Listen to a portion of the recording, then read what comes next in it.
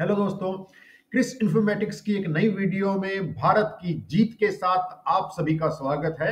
दोस्तों, भारत ने बांग्लादेश को सात विकेट से हरा दिया। वनडे विश्व कप में यह टीम इंडिया की लगातार चौथी जीत है। दोस्तों, इस जीत के साथ ही भारत ने अंक तालिका में दूसरा स्थान हासिल कर लिया है और अपनी स्थिति को मज़बूत कर लिया है। बांग्लादेश ने टॉस जीतकर पहले बल्लेबाजी करते हुए आठ विकेट खोकर 256 रन बनाए थे।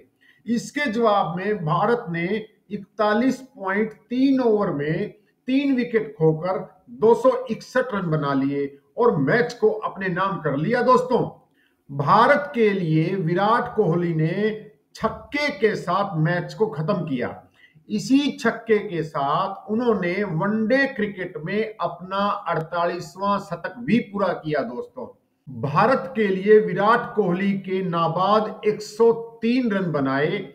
शुभमन गिल ने तिरपन और रोहित शर्मा ने 48 रन का योगदान दिया। केएल राहुल भी दोस्तों 34 रन बनाकर नाबाद रहे। बांग्लादेश के लिए मेहंदी हसन ने दो और हसन महमूद ने एक विकेट लिया। भारत का अगला मैच न्यूजीलैंड के साथ है दोस्तों। और दोनों ही टीमें अंक तालिका में टॉप पर हैं। और यही दोनों टीमें हैं जो अब तक अजय हैं, अभी तक अपना कोई भी मैच नहीं हारी हैं दोस्तों। ऐसे में 22 अक्टूबर को दोनों ही टीमों का आमना सामना होगा और जिससे यह मैच बेहद रोमांचक होगा। देश के प्रधानमंत्री नरेंद्र मोदी ने भी टीम इंडिया को जीत की बधाई दी है और उन्होंने लिखा है, एक और असाधारण खेल। बांग्लादेश के खिलाफ शानदार जीत पर हमें अपनी क्रिकेट टीम पर गर्व है, भारत देश पर गर्व है।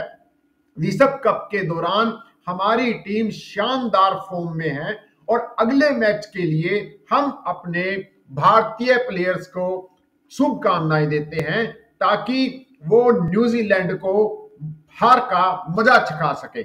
धन्यवाद दोस्तों।